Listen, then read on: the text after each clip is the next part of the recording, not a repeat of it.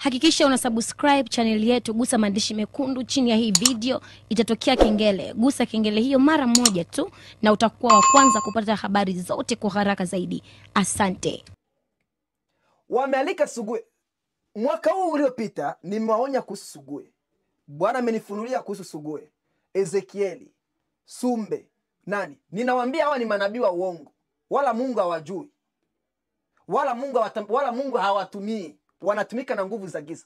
Huyu ni mpinga Kristo. Mpinga Kristo ameandikiwa atafanya miujiza.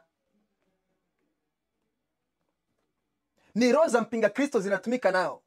Nimewaonya. Cha kushangaza, munisikiasa vizuri, ninaongea kwa uchungu, pia ninaongea kwa hasira. Cha kushangaza, waliweka mkutano. Kwenye huyo mkutano tena walialika rosemwando Mwando, Freemason mkubwa, suguye Freemason, tena kichawi ambacho kinasimamia makanisa. imeji huyu ni mtu ambaye aliomba watu makucha na nywele zao. Eti waziweke ndani ya ya ya ndonini ya kitambaa na eti watafanikiwa, na ukishangaa na, na, na, na, na, na, na ukishangaa ukiangalia ah, uh, klipu zake utakuja kukuta pale kuna mashuhuda za watu, unakuta mtu anashuhudia eti baada ya kuleta kucha zangu na nywele zangu nimepata laki mbili. Una akili sawa? Ulipata laki mbili kwa sa... hao kama sio pumbavu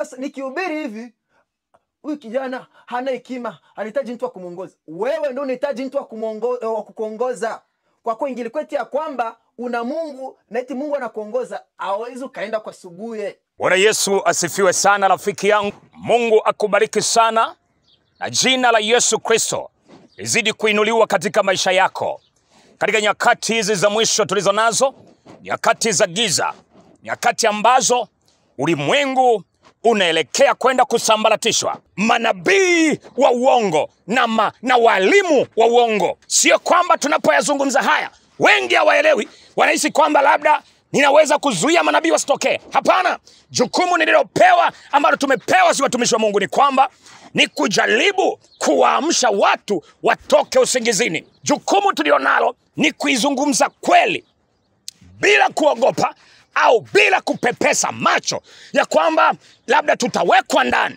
Sikia, bila kuogopa ya kwamba tutapelekwa jela, bila kuogopa ya kwamba tutauawa. Ni jukumu ambalo Kristo analitaka kanisa lake lisimame kwa wakati huu, kupaza sauti ya kuamsha watu watoke usingizini.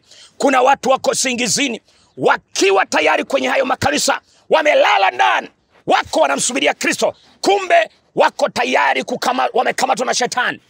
Wako sehemu ambapo wanaenda kama kwenye mteremko wa kuingia kwenye shimo la jehanamu.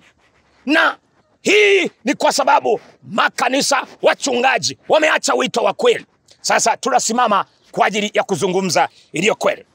Katika nchi ya tanzania watu wengi wamekuwa wakinipigia simu. Katika mabara ya ulaya wanapiga simu wakijaribu kuuliza. Wanauliza mtumishi ni kweli sasa tunajuaje? Wapo wengi watumishi. Nataka nikutajie watumishi wengi maarufu hapa tanzania. Ni watumishi wa mungu. Sikiliza. Tunaona mtu maarufu mtumishi wa mungu anaitwa Mtumishi Mwakasege. Huyu ni mtumishi wa Mungu, so sio kumkosea heshima au nini. Ni mtumishi wa Mungu, anasema na Mungu, anatumika na Mungu, anaponya wagonjwa. Ni mtumishi wa Mungu na ninamheshimu sana, sina tatizo naye, lakini kuna itilafu.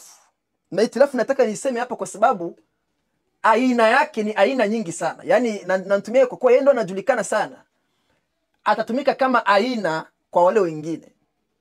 Mtumishi ambaye ana hekima, hana tatizo na watu, ana nguvu za Mungu, lakini hakemei dhambi, na akiongelea kuhusu zambi ataji jina la lile zambi. Tuseme kwa mfano, anasema mtu, kuna mtu hapa Mungu anadai aache dhambi. Ndo atamponya. Tuseme kwa mfano tu, watumishi wengi ni hivi, lakini utakuta roho Mungu amemwambia kuna mtu hapa ambaye anazini na mke wa rafiki yake. so yeye atakuja kutoa ujumbe tofauti alafu atazani labda ni heshima au ni hekima. Munakosea ujumbe ambao mungu amenipa niwaletee. Muache kuwaficha watu. Muda umekwisha. Haleluya sekandaraboseka muache kuwaficha watu. Muache. Ache, muache kuchafua mazabao ya bwana. Mungu anaweza kuwa anawatumia unafanya kazi kubwa una watu wengi lakini hakuna faida yoyote wakati hao wote watu watatupwa jehanamu. Alafu bwana akanifundisha hiki kuhusu watumishi wa mungu. Ujumbe kufikie mwalimu mwakasege. Kwa ujumbe huo nakulenga wewe hasa. Kwa mungu wewe anakupenda sana. Aribu sandaraba bwana nakupenda sana. Na wewe ulikuwa ni mtumishi ambaye ambaye ungeongoza uamsho wa tanzania kama ukuwa unajua. Ulikuwa mtumishi ambaye ul, ul, ul, ulikuwa unapewa kazi ya uamsho tanzania. Kila mahali ambapo uh, ilikuwa ukienda ungekuwa unaacha vitu vikubwa sana. Kazi ambayo niifanya hapa ndio si dharau lakini bwana bwana anasema ungelifanya kazi kubwa zaidi. Areboshatandaraba pia awe mfano kwa nyinyi wengine wote. Watumishi wote uwe kijana uwe, uwe nani uwe nani. Bwana yesu asifiwe. Bwana yesu asifiwe. Uwe kijana uwe nani nataka uwe mfano kwenu bwana aliniambia hivi. Mtumishi usizani ya kwamba watumishi wote ambao unawaona hawakemei dhambi eti ya kwamba hawapendi kukemea dhambi bwana amesema hivi. Pia jaribu mmeingia komenti msijali na makomenti mtu akisema kitu kibaya achana na huyo mtu. Sisi tunaenda na neno. Kwa sababu mtu ya kwamba unaona akemei zambi seti ya kwamba hataki kukemea zambi. Wengi wao kweli wanataka kukemea dhambi lakini kwa watumishi wakubwa munisikie. Kwa watumishi wakubwa ambao huwa munawaona lakini munaona hawakemei zambi wala hawataji neno kuzimu jehanam moto wa kuzimu adhabu ya mungu hawataji maneno kama hayo. Ni ya kwamba huwa wanaangalia maisha yao ya zamani. Naongea kupitia sauti ya bwana wakiangalia maisha yao ya zamani wanakuja kuona ya kwamba wameanza na maisha kimaskini. So mungu aliwaita kwenye wakati walikuwa kingali wa maskini. Sa mungu amewabariki. Munifuate mungu anawabariki. Wanakuwa watu ambao wana hela nyingi. Wanakuwa watu ambao nao wana magari wana mabiashara. Sasa wanajikuta wamekuwa kwenye situation washapendwa sana alafu pia sa watu ambao wanawapenda ni watu wa hii hii aina. Ni wapenda vipodozi ni wapenda zinaa ni wapenda ulevi. Hawa ndio watu ambao wanatoa sadaka nyingi hawa ndio watu ambao wana- wanashiriki hawa ndio watu ambao wanamtia moyo. Sasa anafikia kwenye ile hofu akikemea zambi hao watu watakimbia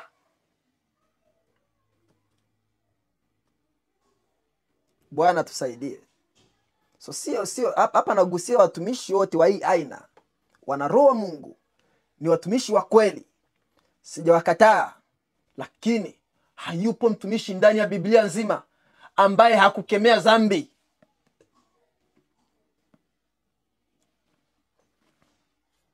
Hayupo.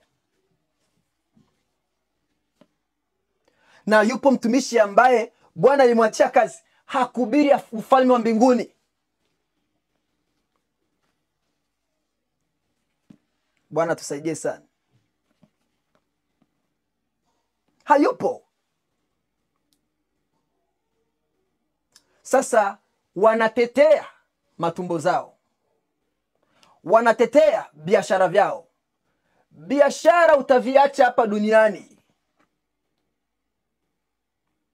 magari yatabaki hapa duniani.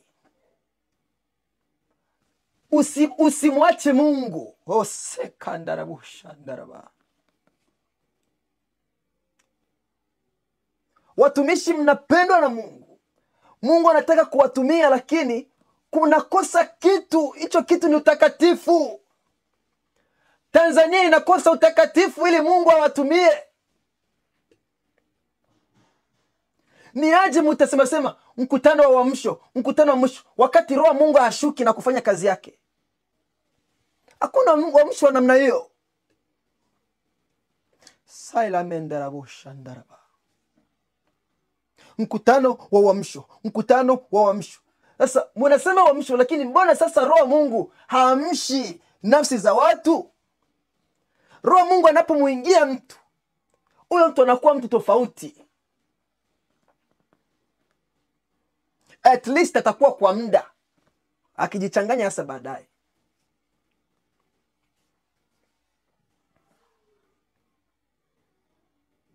Sasa tukisema maneno kama haya watu watasema maneno eti labda huyo ni wito wake. Ninakwambia ndugu kwanza maana ya wito ni nini? Ukisema neno kama hilo fikiria kwanza maana ya wito ni nini? Tuna wito huyo mmoja mbiblia nzima. Na huyo wito ni kuhudumu. Biblia inasema sisi sote tumeitwa kuhudumu. We are all called to, to minister. Munifuate sa vizuri. Sasa huduma ni nini?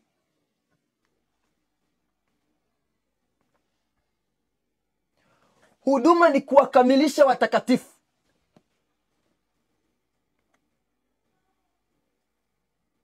sasa ni aje mtu aitwe mtakatifu? Au ni aje mtu afikie viwango vya utakatifu? Ni wakati anaonywa ni wakati anaambiliwa makosa yake ni wakati anaambiliwa maneno ambayo yatamwepusha na dhambi mbalimbali. Ukikataa kupewa maneno ambayo yanakuumiza ukikataa maneno ya namna hiyo ninakwambia umemkataa mungu mzima. Hata mimi hapa kuna maneno mengine ambayo bwana huwa ananiambia yananiumiza. Kuna hatua zingine za kuchukua ambazo mungu ananipa zinaniumiza. Lakini naheshimu hatua za bwana. Wachungaji kubali kubaki mwenyewe ndani ya kanisa. Mungu atakuletea wale ambao wataenda mbinguni kuliko uwe na maelfu ambao watatupwa janam kwa sababu watu wanakuja na mashida zao kwako haijamaanisha eti ya kwamba ubaki nao. Rewo shandarabasatandarabo mimi ninapata watu na maelfu na maelfu na maelfu ambao wanakuja na mashida zao kwangu. Mbona naendelea kukemea? Na mbona wanaendelea kurudi? Mbona kuna mashuhuda hapa karibuni hapa ningekuwa kila wiki ushuhuda? Kungekuwa mashuhuda tushapata muislamu ambaye ameokoka. Mlevi ambaye ameacha pombe. Uh, uh, uh, mwanga, mwanga, mwangalia mwangalia mambo ya, ya, ya zinaa ameacha kuyaangalia. Mbona tunayapata kila wiki kila wiki kila wiki? Sasa shuhuda pia za roho mtakatifu. Mbona kila wiki? Huyu amepokea roho mtakatifu. Huyu amepokea roho mtakatifu. Huyu amepokea roho mtakatifu. Huyu anataka kubatizwa. Huyu anataka kutubu. Mbona ni wengi? Mbona wanaendelea kuja mbona siwabembelezi acheni kubembeleza watu. Trebo satrapa mungu hatumiki na huduma za kihivihivi eti na kihivihivi namaanisha mungu mawazo yangu pia. Hapana. Toa mawazo yako itupilie nje. Achia mungu peke yake basi bwana yesu asifiwe. Ujumbe kufikie mwalimu wa kasege. Ujumbe kufikie mwalimu wa kasege. Wapo wengi. Ah, kuna kuna kuna kuna gwajima. Hao ni watumishi wa mungu ambao wanasikika ambapo ni watu maarufu katika huduma za, za, za, za kiimani. Eh? kina kakobe. Ni, ni watu maarufu katika nchi ya tanzania. Hekima ni jambo zuri sana, na Mungu mwenyewe anatutaka tuwe na hekima. Kuongoza watu kwa hekima ni jambo zuri, kuongea na watu kwa hekima ni jambo zuri, kufanya mambo yetu kwa kutumia hekima ni jambo zuri. Kwa maana hekima ni nini? Wisdom. Hekima ni kufanya jambo zuri kwa wakati sahihi, alafu kwa watu, hilo jambo ulifanye kwa watu sahihi wanaotakiwa kufanyiwa hilo jambo, na pia ulifanye katika mazingira yaliyo sahihi. Hiyo ndiyo hekima. Lakini kuwa na hekima, aweza kuongoza kwa hekima, siyo sababu ya kufunika madhaifu yetu.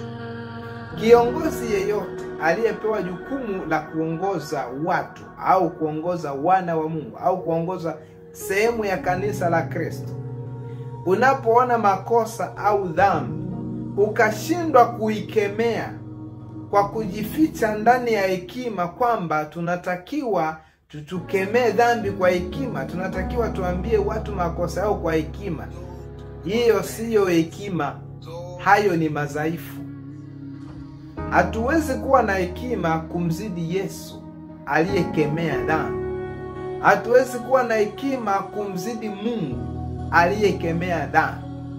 Kwa hiyo hekima hii haitakiwi kuwa sababu ya kuficha madhaifu yetu, na ni kweli kwamba kwa sababu dhambi zinafanywa na watu, tunapozikemea watu wataumia lakini kule kuumia kwao si kuwafedhehesha. Kuumia kwao ni sehemu ya kuwatibu, ni sehemu ya msaada kwao. Kwa hiyo yale maumivu wanayoyahisi ndiyo sehemu ya kuwasaidia kwenda vizuri. Sindano inapoingia ndani ya mwili wa mwanadamu huwa anasikia maumivu, lakini lengo la sindano ndani ya mwili si kumuumiza mtu, ni kumsababisha uponyaji. Kwa hiyo watumishi wa Mungu, hatutakiwi kutumia hekima eneo ambalo si la kutumia hekima. Maeneo mengine ni maeneo ya kutumia mamlaka, maeneo mengine ni maeneo ya kukemea. Lakini sasa hivi jambo la kukemea kwa watumishi wengi, wachungaji wengi limepotea, halipo, kwa sababu hatukemei. Tunachotakiwa kukemea ni kitu gani? Ni dhambi, watu wanapofanya dhambi. Lakini je, tunakemea? Na kama hatukemei, hatukemei kwa sababu makosa hayafanywi au hatuyaoni? Jibu ni kwamba tunaona makosa, makosa yanafanywa, madhaifu tunayaona, lakini atukemee, na hii hekima isiwe sababu ya kuficha madhaifu yetu. Je, kuna ishara gani ya kuwatambua hawa ni watumishi wa Mungu ama watumishi wa uongo? Hilo ndio swali la watu wengi ambao wameniuliza, lakini leo nataka nilijibu vizuri. Nataka nizungumzie namna alichokuwa anafundisha huyu anayejiita mwalimu. Alizungumzia katika Hesabu kumi na tisa na ule mstari wa kumi na tatu. Huyu kuhani Musa ambaye ana huduma hapo kubwa Tanzania na watu wanamsikiliza. Fundisho hili alikuwa anafundisha hapa, anasema katika mstari wa kumi na tisa Hesabu kumi na tisa mstari wa kumi na tatu na wewe utasoma hapo ulipo, halafu itolee majibu. Inasema mtu yeyote yule asiguse, agusaye maiti ya mtu aliyekufa asijitakase, analitia unajis unajis maskani ya Bwana, na mtu huyo atatupiliwa mbali na Israeli, maana hayo maji ya farakano hayakunyunyizwa juu yake, atakuwa najis, unajisi wake ungali upo juu yake. Sasa sikiliza vizuri, huyu kuhani Musa ambaye ni mwalimu anafundisha, anasema kugusa maiti ni najis na kula msibani. Angalia hiyo hiyo hiyo hiyo hiyo hiyo hiyo hiyo hiyo clip inapita hapo. chakula cha msibani. Amen. Wangapi waliwahi kula msibani hapa? Ongera kwa kumla marehemu. Alafu unasema kwa kweli, mimi sijawahi kula nyama za watu, walaaniwe wachawi. Wewe mwenyewe umemla marehemu mzima mzima. Hapo. Kula chakula kwenye msiba kukiwa na nyama kwenye hiyo chakula umemla marehemu. Amen.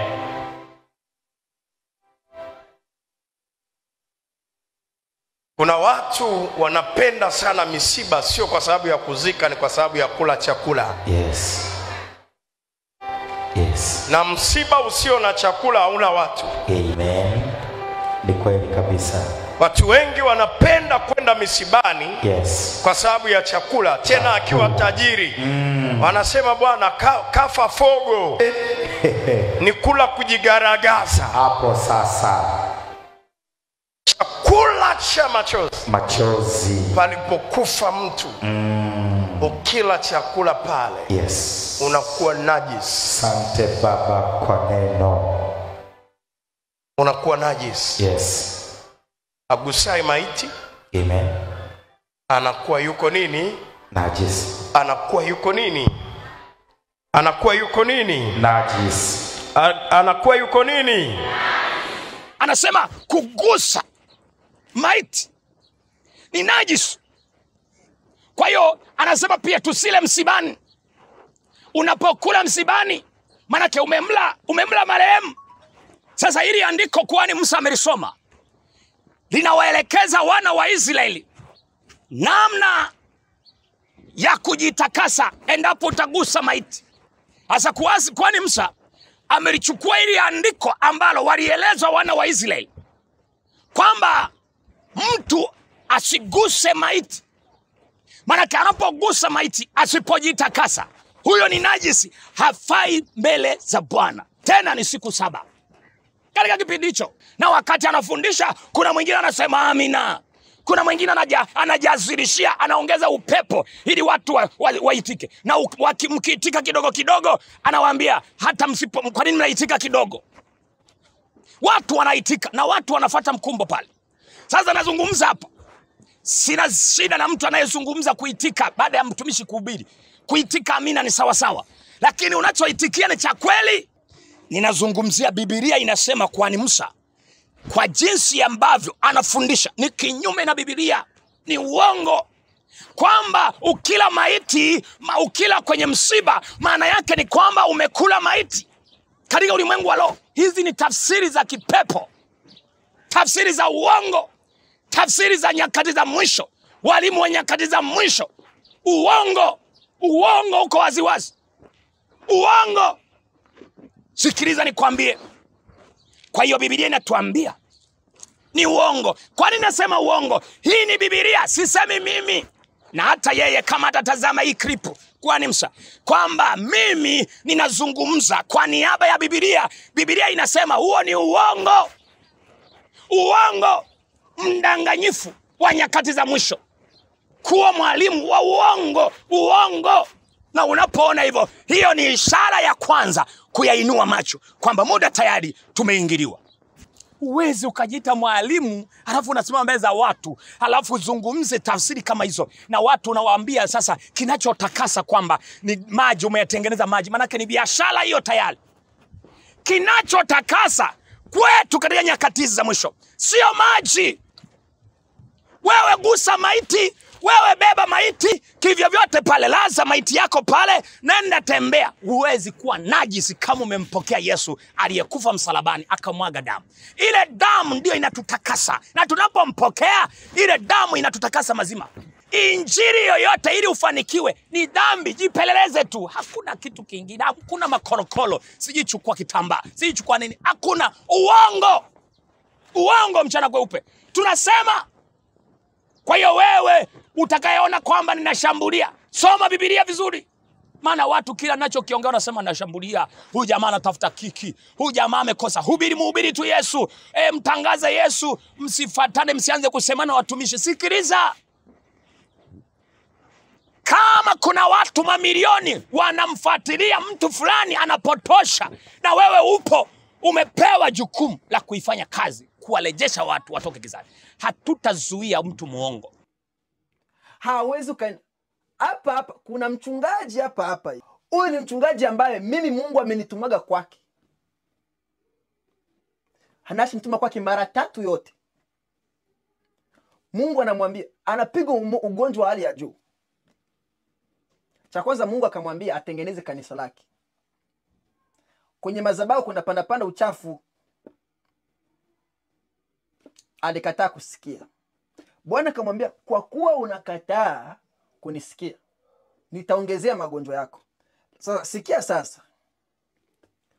Mtu huyu huyu sikia sasa huruma huruma huruma wa bwana.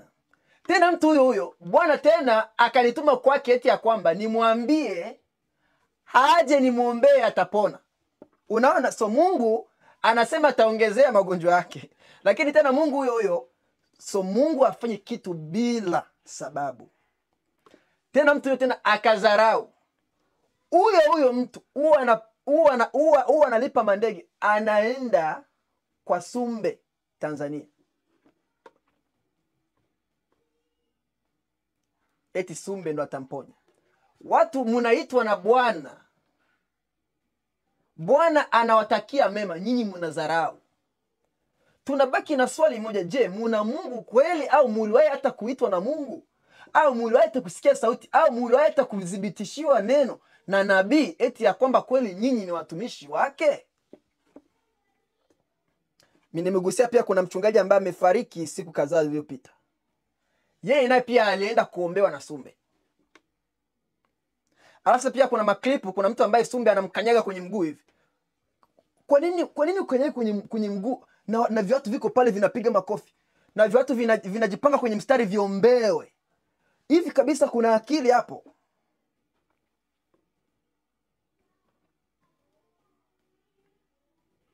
Nashangaa sana. Hata dada yangu pia wa pili mfamilia naye juzi juzi hivi karibuni afe. Hey, pepo kazini. Lupepo lumemfinya huko watu wanaonywa wakati wana, yeye naye pia alikuwa kwenye mkutano. Wakati washaonywa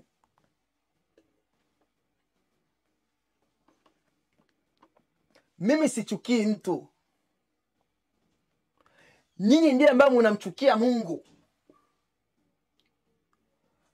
Alafu tena munaendelea kusema sema eti ya kwamba mungu wa wazee wetu wa petro sangia mungu wa wamsho. Sasa munaomba mungu wa wamsho mungu wa wamsho yeye alitumika na utakatifu. Norris alitumika sana na utakatifu. Watu walitubu zambi zao. Paulo lakini mbona nyinyi wachungaji hamjulikani na mtu? Nguvu zimeenda wapi? Dhambi inakemewa. Dhambi haitafutiwi mambo ya hekima, lakini unapomwona mtu kama mtu binafsi, hekima ni nzuri sana. Unapotaka kuongelea mtu mmoja mmoja ama mtu maalum, ni vizuri uongee naye kwa kutumia hekima. Unapotaka kuongea kuhusu ubaya wa mtu fulani, ni vizuri utumie hekima. Lakini tunapokuja kwenye suala la kuongelea dhambi, matendo mabaya yanayofanywa na watu, tukemee dhambi bila kusita au bila kuhisi kwamba tunawakosea watu ada. Kwa hiyo hilo ni eneo tunatakiwa tusisitize kwalo sana, kwa maana imeandikwa, heri wenye moyo safi, maana hao ndio watakaomwona Bwana. Na kinachochafua moyo si kitu kingine, ni dhambi. Na tusipokemea dhambi wanayoifanya watu, tutakuwa hatuwasaidii, bali tunawaangamiza. Asante sana, uwe na siku njema. Mimi ni Makemsi Swedi, naye ni Those Connect, the Mind Shepherds. hakikisha una subscribe channel yetu gusa maandishi mekundu chini ya hii video itatokea kengele gusa kengele hiyo mara moja tu na utakuwa wa kwanza kupata habari zote kwa haraka zaidi asante